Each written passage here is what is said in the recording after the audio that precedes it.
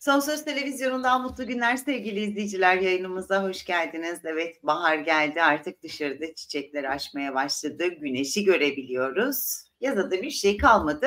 Kışı geçirdik, yedik, içtik, bol bol kilolarımızı aldık, cildimize bakmadık. Nasıl olsa daha çok var diye düşündük. Ama Durum öyle değil tabii. Yaza bir şey kalmadı. Şimdi eyvah ne yapacağız? Paniğini yaşıyoruz. Nasıl kilo vereceğiz? Cildimizi nasıl güzelleştirmemiz gerekiyor derken e, konunun uzmanına soracağız ne yapmamız gerektiğini. Uzman estetisyen Arzu Dengiz İnal bizimle birlikte. Merhaba, hoş geldiniz. Merhaba, nasılsınız? İyiyim, siz iyi misiniz? Teşekkür ederim, ben de iyiyim. Dediğim gibi kilolar alındı. O arada cildimize de çok iyi bakmadık. Pek de bir şey yapmadık. Ama yaz geldi. Şimdi eyvah diyoruz. Ne yapacağız? Peki ne yaptırmamız gerekiyor? Ne yaptırırken beklentimiz ne olmalı? Nasıl bir süreç var önümüzde? Hani hiç hiç kimsenin bir sihirli değneği yok çünkü. Hani gittik bir salona işte oradan böyle bir prenses gibi çıkmayacağız tabii. Beklentimiz hani o kadar da yüksek olmamalı. Hepsinin bir süreci var. Hem o süreci birazcık anlatır mısınız bize? Hem dediğim gibi ne yaptırırken beklentiniz ne olmalı? Aslında şöyle e, tabii hem Ramazan hem kış ister istemez e, tüm bayanlar gibi e, biz de birazcık gevşedik. Tabii güneşi görmeden önce aslında başlamak lazım bu tarz şeylere. Ama keşke elimizde sihirli değnek olsa da böyle bir dokunsak ve her şey yoluna girse. E, ne yazık ki bu mümkün değil. O yüzden biraz sabır gerekiyor ve aslına bakarsanız e, Ramazan sonrası bizim sezonumuz. Yani hem cilt açısından hem bölgesel incelme açısından tam sezonumuzun başladığı zaman. Ha yani benim tavsiyem aslında yaz kış dikkat etmemiz gerekiyor buna. Yani çünkü son dakikaya getirilen şeyler e, biraz zaman alıyor ve belki de beklentiyi çok fazla karşılamıyor. Yaz kış hayat şeklimiz haline getirmemiz gerekiyor. Ancak tabii bu çok da mümkün olmuyor bulunduğumuz koşullardan ötürü genelde. Ee, ama hani yaz sezonuna girmeden 3 ay kala aslında bunu hazırlamakta fayda var diye düşünüyorum. Çünkü e, Tabii her probleme göre de uygulanacak tedavi prosedürü de farklı oluyor. Kimisi 10 seans olmakla bir, beraber, kimisi daha büyük problemlerde 20 seansa kadar çıkabiliyor. Tabii daha hafif vakalarda tek seansta sonuç aldığımızda var artık teknoloji sayesinde ama biz yine de işi sıkı tutmalıyız diyorum. E, o yüzden Ramazan sonrası mutlaka e, herkesin güneşi görmeden önce gelmeleri gerekiyor. Ben bunu tavsiye ediyorum. Peki şimdi şöyle sorayım o zaman hani bir spor yapmayı çok beceremeyen bir toplumuz. Hani gerçekten hiçbirimiz sevmiyoruz. Gidersek de mecburiyetten gidiyoruz. Yani tabii genelimiz böyle yani hani tabii çok severek yapanlar var. Onlara da ayrıca saygı duyuyorum. Ee, mesela bölgesel incelme hani daha kolay geliyorsun makineye bağlanıyor. İşte hani nereden kilo vermek istiyorsanız aslında bir konfor alanı da. Peki onun için de yani hani her hastada değişik midir periyot? Yani birisinde bir seans, diğerinde üç seans da mı çözülebilir, beş seans da mı çözülebilir? O süreç nasıl? Yani şöyle söyleyeyim ben öncelikle tabii kendi adıma, kendi kurumum için konuşuyorum. Ee, telefonla danışan bize e, bilgi için başvurduğunda ben mutlaka e, istediği işlemden ziyade istediği bölgedeki problemi görmek istiyorum.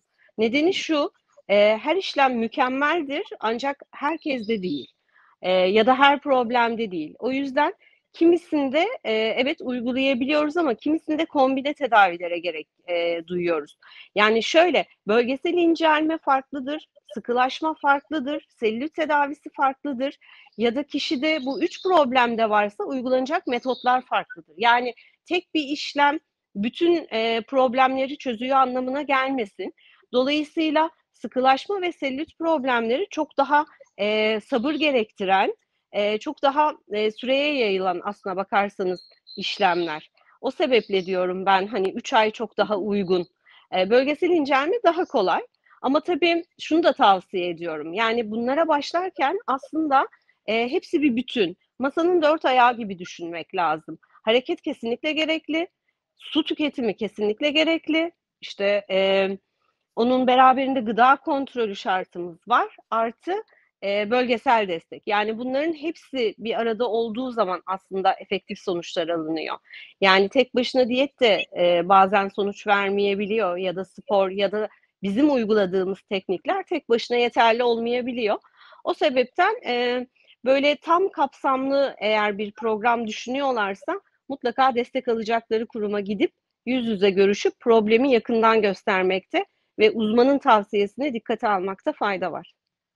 E tabii ki canım yani aman gidiyoruz incelmeye diye habire yersek zaten onun hiçbir faydası olmuyor. Olmaz. Keşke, keşke. Evet. Ama Keşke. gerçekten çok önemli. Bütün kadınların zaten ortak sorunu.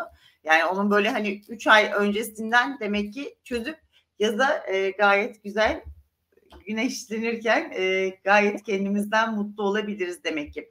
Peki tabii bölgesel incelme bunların hepsini öğrendik ama e, kışın aslında cildimize çok da iyi de bakmıyoruz. Aslında kışın kendimize çok özen göstermiyoruz. Nedense yaptığımız her şeyi yazda bırakıyoruz. Peki cildimiz için şimdiden mi başlamamız gerekiyor yine bir şeyler yapmaya?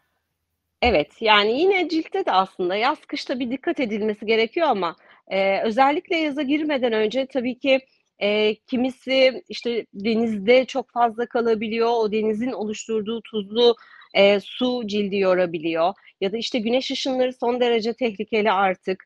E, şöyle düşünelim 3 ay eğer sezonluk bir tatil yapıyorsanız 3 ay e, havuza da giriyorsanız işte klorlu suyun oluşturduğu ciltteki o e, kuruma ya da işte tuzlu suyun ve güneşin oluşturduğu kuruma ile birlikte cilt bariyeri aslında e, savunmasız kalıyor. Ve doğal olarak e, kışın cildi besleyerek savunma mekanizmasını güçlendirmek gerekiyor ki işte o nemsizlikten oluşan kırışıklıklar ya da özellikle bayanlarda güneş lekeleri e, ni biraz daha ekarte edebilelim. Kesinlikle yaz kış güneş koruyucu mutlaka kullanılmalı. E, yani güneş ışınları ciddi anlamda e, sıkıntı. O yüzden cildin nem kapasitesini arttırdığımızda aslında cilt bariyerini de güçlendirmiş oluyoruz. Ee, onun için de ben şimdiden kolları sıvamak lazım diye düşünüyorum. Peki güneş lekesi dediğiniz hani o pek çok kadında artık en büyük problemlerden birisi.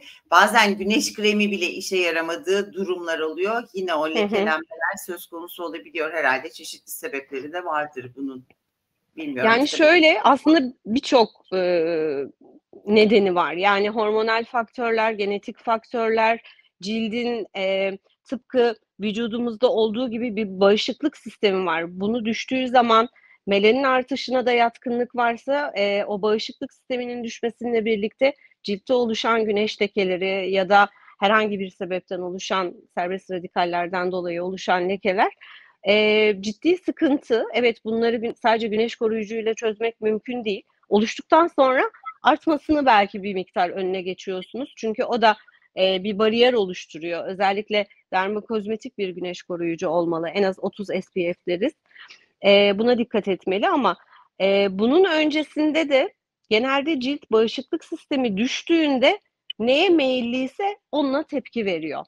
İşte e, eğer akneye meyilliyse akne olarak size cevap veriyor. Pigmentasyona meyilliyse leke olarak size cevap veriyor. Ya da nemsizliğini kaybettiyse kırışıklık olarak. Dolayısıyla e, özellikle bu tarz işlemleri yani bağışıklığı düşüren e, işlemleri onu engellemek adına yaptıracağımız işlemler için mutlaka bir hekim tavsiyesi almak lazım. Çünkü benim az önce bahsettiğim bağışıklık sistemini güçlendiren işlemler hekim tarafından yapılması gereken işlemler. Biz cildi temizleriz. E, nem kapasitesini arttırmak için e, tabii ki epidermisi cildin üst tabakasını güçlendiririz.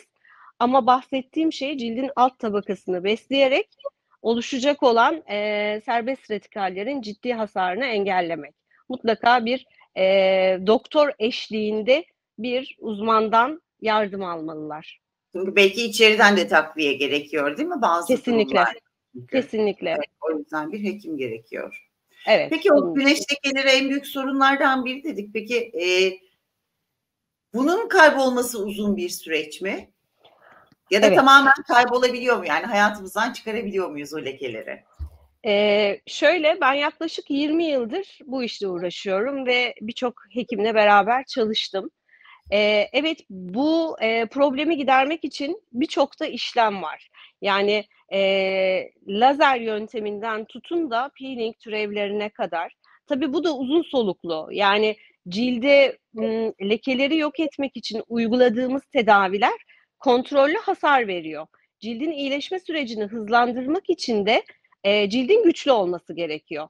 İşte öncesinde cildi güçlendirmek ve akabinde e, tedaviye geçmek çok daha sağlıklı. Yani önce bir cilt bakımı, ardından uygulanacak cildin bariyerini güçlendirecek bir takım mezoterapi ya da PRP destekleri, onun üzerine artık e, hekim tavsiyesiyle lazer yöntemi mi olur yoksa e, peeling türevleri mi olur bunları uygulamak gerekiyor ama dediğim gibi aşama aşama.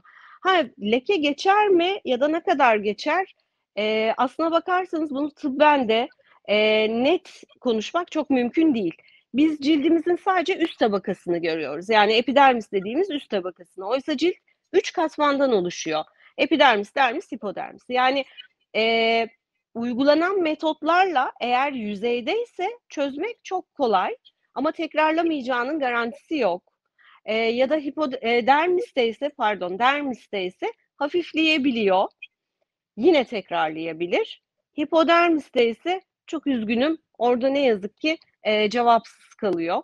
O yüzden e, tabii ki leke problemi yaşayan hastaların da beklentisi çok yüksek olduğu için haklı olarak e, onlarla konuşurken ve bilgi verirken çok dikkatli olmak lazım. Bunları e, bu şekilde izah etmek gerekiyor. Yani çok fazla da böyle büyük umutlar vaat ederek tek seansla o lekeler yüzde yüz gidecek bir daha asla gelmeyecek diye vaatlerde bulunmamak lazım. E, bunlar yanlış. Evet. Kesinlikle öyle. Peki çok teşekkür ediyorum. Üç aylık süre ne yaparsak yapalım. Önümüzde bir üç ay var anlaşıldığı Kesinlikle. kadarıyla.